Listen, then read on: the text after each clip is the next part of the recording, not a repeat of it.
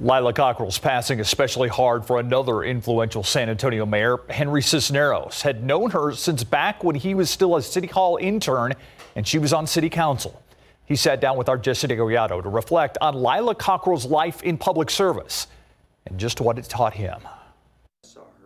Former San Antonio Mayor Henry Cisneros says other than his late parents, this woman touched me uh, deeply more than anybody else I can think of. Representing District 1 in the mid 70s, Henry Cisneros sat to the right of his mentor, Mayor Lila Cockrell. I mean, she made men respect women. She made women proud that there was a woman in the job. Cisneros says Lila Cockrell made the most of what he called her old world qualities courtesy, dignity, ladylike demeanor, manners. While still blazing a trail for other women. I just watched, listened, saw how she found consensus out of situations where there was no consensus. Yet always remaining optimistic, a solution could be found. Those are lessons I've been able to act on the rest of my life. Along with her respect for the city, its people, and diversity. Celebrate them, raise them up, don't tear them down, don't denigrate people. Cisneros wrote the foreword to her book. Its title reflects how Lila Cockrell felt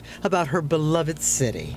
It was a love affair both ways. The people of San Antonio also loved her. Cisneros says he'd just seen her less than two weeks ago. I expected to see her frail and sad, and she was upbeat and bright eyed and wanting to talk. That's just Lila.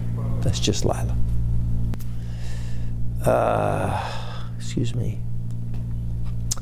And um, I, I, held her hand. She squeezed my hand, and she said, uh, you're one of my favorites. To hear more of Henry Cisneros' interview, we have all of it posted on our website, ksat.com.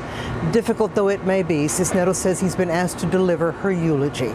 In honor of Cockrell, Mayor Ron Nirenberg has said that flags throughout the city will be flying at half staff until after her funeral services. Those arrangements are still pending. Live downtown, Jessie Degollado, KSAT 12 News.